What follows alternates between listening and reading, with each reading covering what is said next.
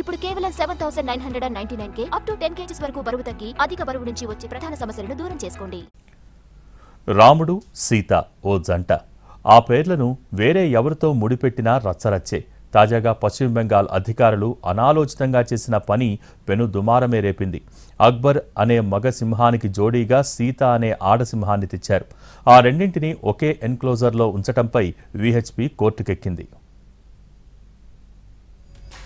Siliguri safari పార్కులో అక్బర్ సీత అనే మగ ఆడసింహాలను ఒకే ఎన్క్లోజర్లో ఉంచారు. అయితే హిందువుల మనోభావాలు దెబ్బతీసేలా అధికారులు వ్యవహరిస్తున్నారంటూ విహెచ్పి జల్పాయిగిరిలోని హైకోర్టు సర్క్యూట్ బెంచ్ను ఆశ్రయించింది.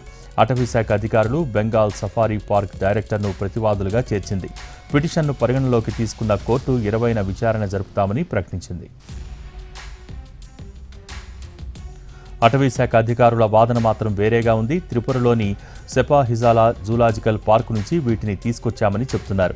అక్కడి నుంచి తీసుకువచ్చిన తర్వాత వాటికి కొత్తగా పేర్లు పెట్టలేదని అంటున్నారు.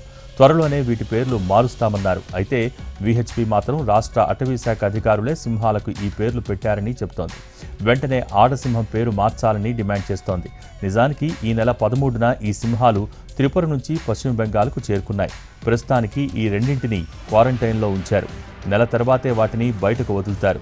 అక్బర్ తండ్రి పేరు దుష్మంత్ తల్లి పేరు చిన్మయి సిపాయిజ్ లాగా తెలుస్తోంది.